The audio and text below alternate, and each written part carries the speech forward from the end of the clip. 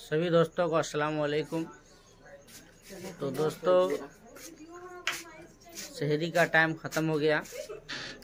लगभग चार बाईस में था यहाँ पर टाइम और हमने भी नियत कर ली है। शहरी भी जो भी थोड़ा थोड़ा था कर लिया है। क्योंकि शहरी में ज़्यादा तो खाया नहीं जाता है।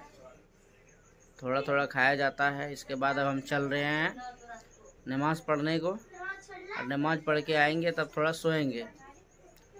तो हमारे साथ देखिए कितने बच्चे रोज़े पे हैं। रोजा है तुम? हाँ। नियत कर लिया। हाँ। देखिए ये सब रोजा है। और भी बच्चे रोज़े हैं और वो सब उधर अलग है। एक तो इधर छोटा बच्चा है आधा पौवा का। ये आधा पौवा का बच्चा है। पूरा रोजा रह जाती है? ये रह जाती है रोजा। और कौन रहता है रोजा?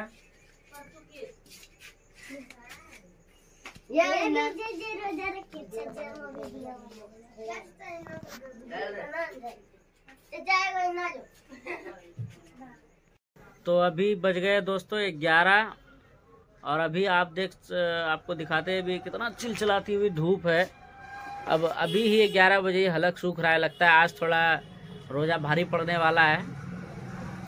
क्योंकि धूप इतनी है मेन तो पानी का ही प्रॉब्लम होता है कि नॉर्मल तो कोई दिक्कत नहीं होता, ज़्यादा पानी का ही प्रॉब्लम होता है, हलक बहुत ज़्यादा सूखता है।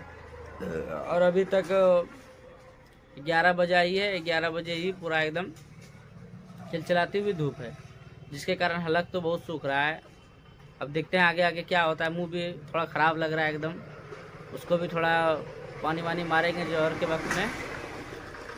तो इसी तरह का भी हाल है थोड़ा उन्हें से भी इसका इसका पूछते हैं एकर का क्या हाल है तुम्हारा क्या हाल है? तुम भी रोजा है ना? हाँ। तुम्हारा क्या हाल चाल है? ठीक। क्या ठीक है? रोजा लग रहा है। इसका भी देख सकते दोस्तों कितना धूप चलचलाती हुई है।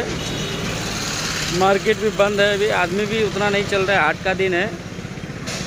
अगर शाम के समय में थोड़ा आदमी चलेगा। देख सकते हैं दोस्तों, ये अपना दुकान है। अभी कोई ख़ास नहीं है। थोड़ा बहुत ही सामान है, अपने पास की पूंजी का कमी है अभी।